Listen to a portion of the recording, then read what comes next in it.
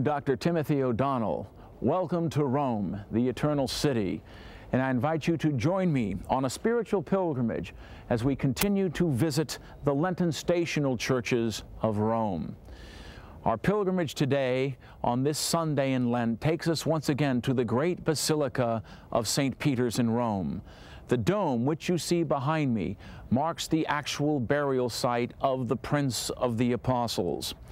We go back to St. Peter's, we reflect upon the fact that Peter was buried just outside the ancient circus, the circus of Gaius and Nero. It was in this circus that many of the early Christians were first persecuted by Nero. Many of them faced death heroically, covered with the skins of wild beasts and torn to pieces. Others were used as human torches and lit to illuminate the circus at night. There was very little doubt that Peter himself died also in this circus. The body was then taken down from the cross and placed in a grave just outside the circus. This great church the center and the heart of Christendom, bears everywhere the mark of St. Peter. Even the great obelisk, familiar to countless faithful pilgrims who have come to pray at this church, holds aloft the relic of the true cross, symbol of the martyrdom of Christ and also the martyrdom of Peter and all the Christians who face such a horrible death. This is a great day to reflect upon the importance of our fidelity to Peter. Ubi Petrus, ibi ecclesia, the old Latin expression. Where Peter is, there is the church. Let us examine our hearts as we move towards the tomb of the great apostle, the prince of the apostles, on this day, and reflect in our hearts, are we being faithful to the church as we should, obedient and submissive to the voice of Peter and the voice of Christ, who speaks to us today through the Holy Father. Let us go now to the church of San Pietro. This basilica is truly the glory of the Catholic Church and a symbol of the triumph of the Catholic Reformation. The actual dome is built over the humble grave of the fisherman from Galilee to whom our Lord entrusted the keys of the kingdom of heaven. The entire basilica is designed in cruciform pattern of a Latin cross and is completely dominated by the magnificent dome of Michelangelo, a work of surpassing beauty and probably the greatest work in the history of architecture. All domes in some way seek to imitate its beauty and grandeur. The selection of the Latin cross design was chosen in order to accommodate the large congregations that gathered in the basilica. As one enters into the basilica, the more one walks into it, the more one is overwhelmed by its grandeur and immensity. This is one of the reasons why the Latin cross was chosen over the Greek cross. The Greek cross, which has equal arms, while the Latin cross has the vertical or the upright bar, which corresponds to the nave, far longer, far more fitting for papal celebrations and processions. As one walks along the floor of the basilica, one can see the lovely Cosmatesque pavement with its marble inlay. One can also notice, inlaid in bronze lettering, the various great churches and their names found all over the world, showing the spot where those churches would fit inside this, the mother church of all of Christendom.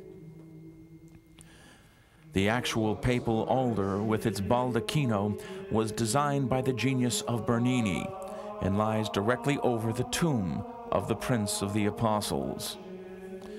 The confession underneath the high altar refers to the confession made by Christ and also by the martyr, in this particular instance by St. Peter.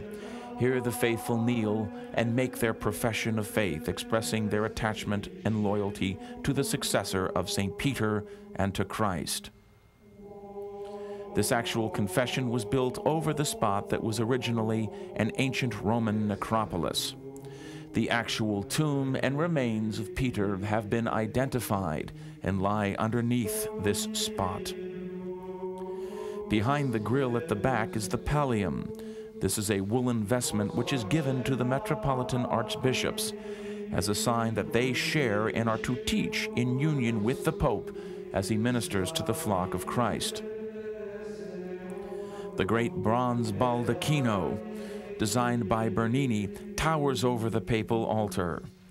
There can be no doubt that the spiral columns in their design go back to the ancient basilica of St. Peter's, which Julius I had torn down. Remains of these columns can be seen in the niches of the piers which support the great dome itself. At the end of the basilica is the great cathedra, or the chair of St. Peter, with the beautiful alabaster window of the Holy Spirit. Again, this magnificent work is the work of Gian Lorenzo Bernini. As the sun sets in the west, the light which pours through this window bathes the entire basilica with gold, symbolizing the grace of the Holy Spirit filling and suffusing the church of God. An ancient wooden chair, believed to have been used by St. Peter, is held within the Baroque chair and is one of the precious relics of the Roman Church. The highly dramatic statues on the right and left hand side of the chair, typical of the Baroque period, show us the doctors of the Church who defended and extolled the authority of St. Peter in the Apostolic See. The Western bishops wearing the mitre are St. Augustine and St. Ambrose. The two Eastern bishops are St. Basil and St. Athanasius. All throughout this basilica, every article of faith that was attacked by the religious revolutionaries is now boldly affirmed with a joyful serenity and a confidence that comes from the certitude of faith. At the base of the four great piers which support the dome, we find reference to the major relics which are preserved near the tomb of St. Peter. St. Helen's statue is found here as she found the true cross, and a portion of that true cross is still held here and venerated on this date the statue of St. Veronica holding the veil which had the image of the face of Christ.